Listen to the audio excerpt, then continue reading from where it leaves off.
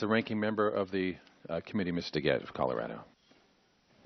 Thank you very much, Mr. Chairman. Like all of us, I'm deeply troubled about what our investigation has revealed about GM's business practices and its commitment to safety. Here's what we know. We know that GM has recalled over 2.5 million vehicles because of defective ignition switches.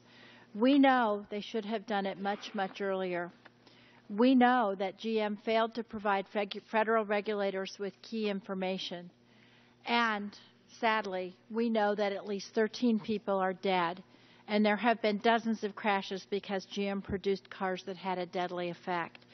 Mr. Chairman, I have a copy of the ignition switch assembly for one of these vehicles, and this is it.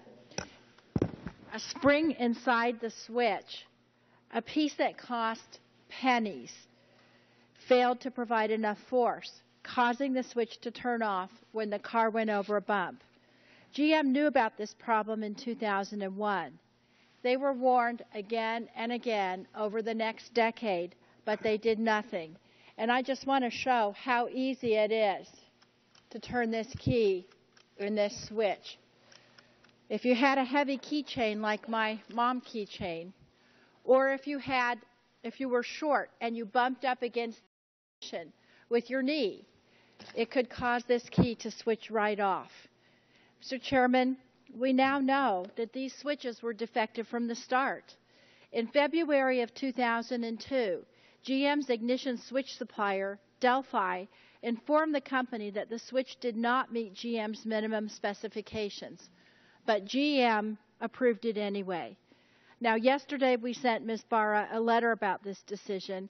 I'd like unanimous consent to make that letter a part of the hearing record. Without objection. Soon after this approval, the defective cars were on the road, and it didn't take long for problems to appear. In 2003, June 2003, the owner of a Saturn Ion with 3,474 miles on the odometer made a warranty report that he or she, quote, bumped the key, and the car shut off. GM would receive more than 130 similar warranty claims from owners about this problem over the next decade, but it never informed the public or reported the problem to federal safety regulators. The minority staff conducted this warranty analysis, and again, we prepared a memo about these claims. I'd also ask unanimous consent to put that in the record, Mr. Chairman. Without objection. Initially, GM opened multiple investigations into the ignition switch issue, each which concluded the switch was bad. It didn't meet the minimums. In 2005, GM identified solutions to the problem, but concluded that, quote, the tooling cost and piece price are too high. Thus, none of the solutions represents an acceptable business case. Documents provided by GM show that this unacceptable cost increase was only 57 cents. And Mr. Chairman, uh, we have a document that we got from GM. Somehow it's not in the binder. I'd ask uni- unanimous consent to put this in the in the record as Without well. objection, so ordered. Another technical investigation completed in 2005 led GM to issue a technical service bulletin advising dealers to distribute key inserts to help reduce the problem. This was a simple fix to reduce the force on the switch. And Mr. Chairman, these are the keys of one of my staff members who actually owns one of these cars. And as you can see, there's a long, long insert.